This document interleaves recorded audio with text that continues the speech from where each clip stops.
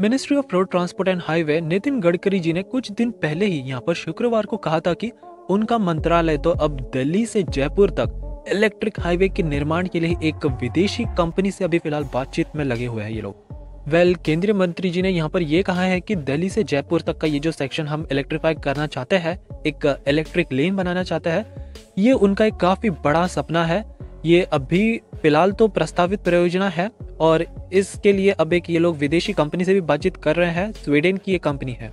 हाल ही में जब वो दिल्ली मुंबई एक्सप्रेस वे का प्रोग्रेस का रिव्यू कर रहे थे राजस्थान में, उन्होंने तब कहा था कि बसेस और जो ट्रक्स यहाँ पर दौड़ेंगी, वो भी इलेक्ट्रिसिटी से पावर्ड होंगी, जैसे कि हम देखते हैं हमारे रेलवे इंजन रहते हैं। एग्जैक्टली लाइक दैट और ये पूरी तरह से पेट्रोल डीजल की जो हमारे भारत में समस्या है उसको रिजोल्व करने में ये एक मील का पत्थर साबित होगा। अब सेविंग्स की बात कर ले तो यहाँ पर मिनिस्ट्री का कहना है कि अगर हम दिल्ली मुंबई एक्सप्रेस में इलेक्ट्रीफाई ला दे सो सेंट्रल गवर्नमेंट यहाँ पर आसानी से हज़ार से पंद्रह crore rupees every month toll revenue generate कर सकती है।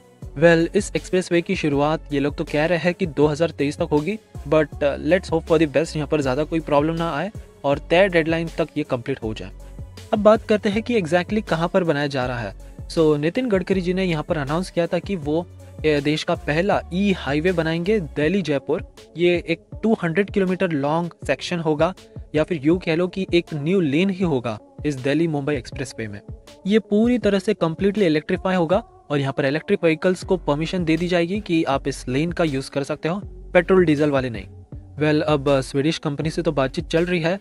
और देखा जाएगा कि ये किस तरह से पूरे काम को एग्जीक्यूट करते हैं भारत के वातावरण और जो भी भारत के चैलेंजेस है उसको किस तरह से ये टेक्नोलॉजी टैकल करती है।